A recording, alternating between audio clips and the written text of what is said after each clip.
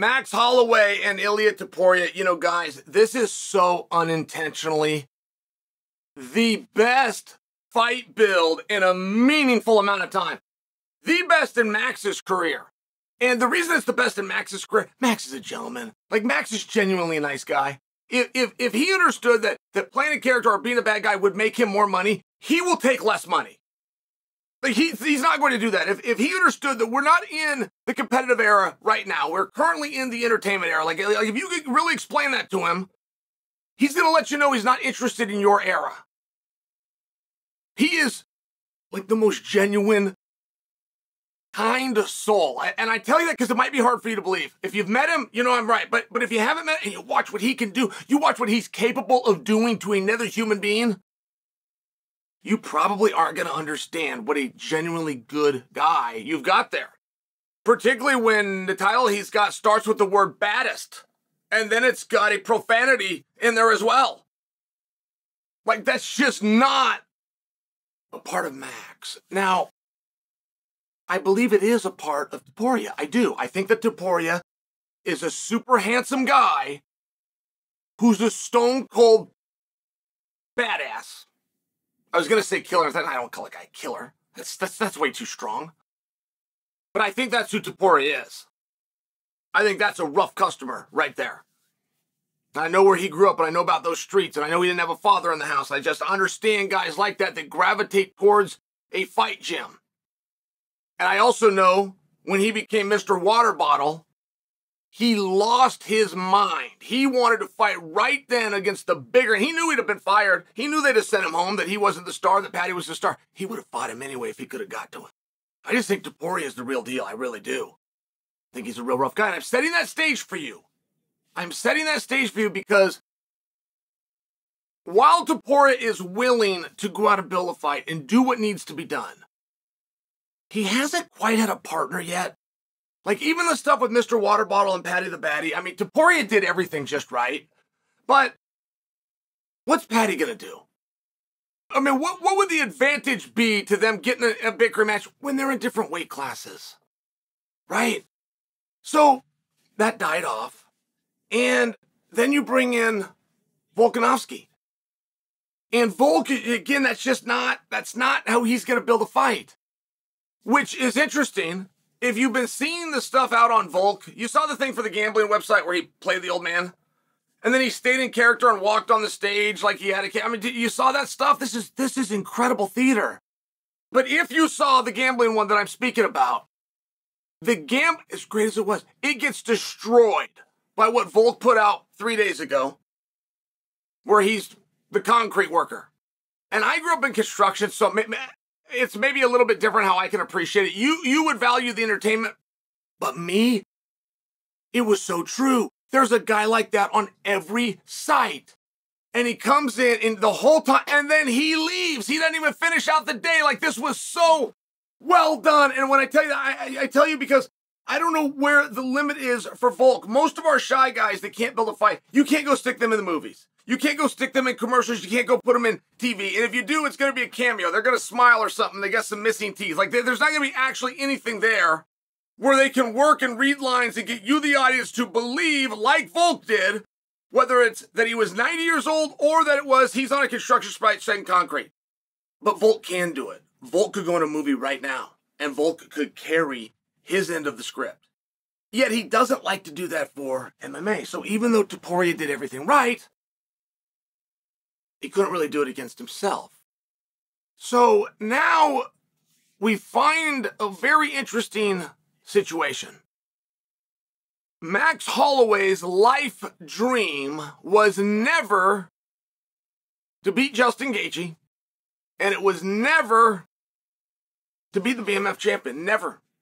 Not once that's the spot he found himself in, not the day of that fight, and not even now.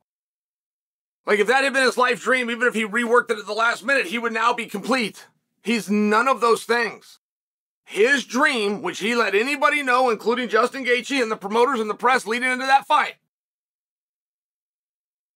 was to gain the momentum that he was having a hard time getting into his weight class. He was going to gain the momentum through the respect of leaving his weight tackling the giant that everybody said he couldn't beat, grabbing that belt, and going back. All he's ever wanted to do is be the 45 pound champion. He has never flinched. Now, that doesn't mean he's got to deal with Topuria. What I mean is, Max never had heat with Topuria.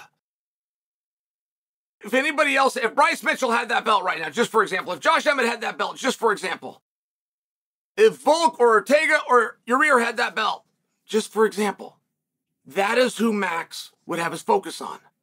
It's the belt. It's not the athlete.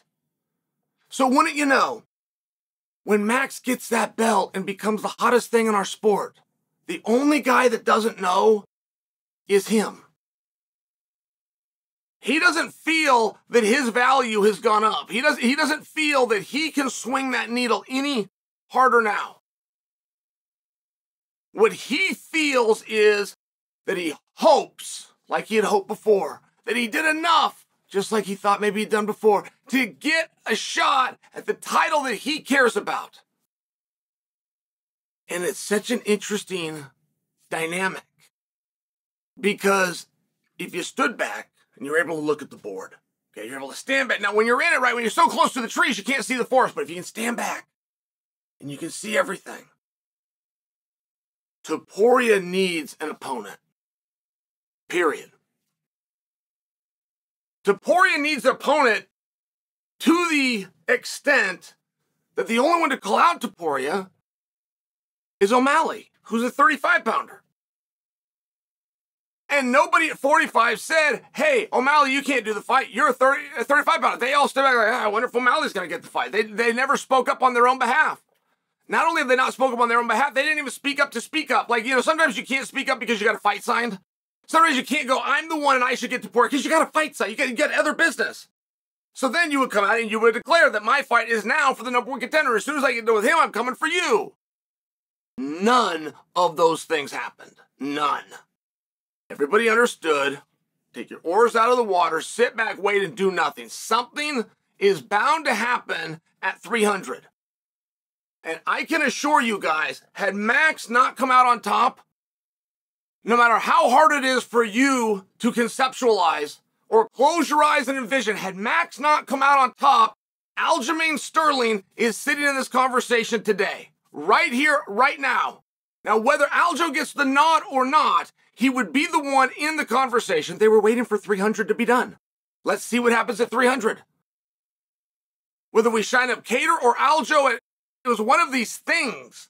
So now when Max, the hottest prospect, competitor in him just wants to go down. He just wants that opportunity. It's the same opportunity he's wanted the whole time. He never changed his tune. Everything is the exact same. For Max. Of course, Max can get that fight. Of course, he can have that fight. Of course, everybody wants that fight. Of course, there is no decision maker who's going to step in with a narrative that isn't that fight. You would be stopping a locomotive coming down the train. That's not what promotion is. That is what demotion is. And the reason it's so wonderful is as bad as Topuria needs Max,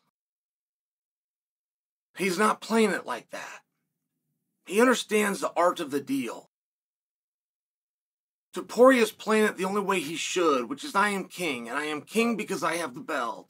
You're saying my name, hoping you did enough to get to me. I don't say your name.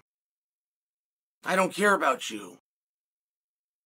If I beat you, I keep the belt. But guess what, kid? If I don't ever fight you, I keep the belt. Now, that's an interesting attitude and it's a difficult attitude, and you got to have confidence in your craft.